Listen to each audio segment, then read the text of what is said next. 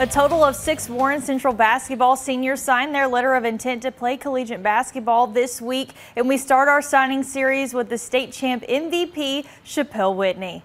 Whitney is furthering his academic and athletic career at Auburn University at Montgomery. He averaged 16.7 points and 7.9 rebounds to lead the Dragons to a state championship title and a 36-1 record this past season. Along with his MVP recognition, Whitney was named the fourth region player of the year and 2023 Kentucky Mr. Basketball candidate. While being a Dragon, Whitney learned the true form of being a teammate and is looking forward to taking that with him as he becomes a Warhawk beginning, I was more focused on my stats. So we come to Central, you know you're going to have to, to um, let that go. You're going to to play as one and be a unit. And Coach proved that what he says is, if you do what he says, you're going to win and be successful. So I think I really took away sacrificing for the greater good.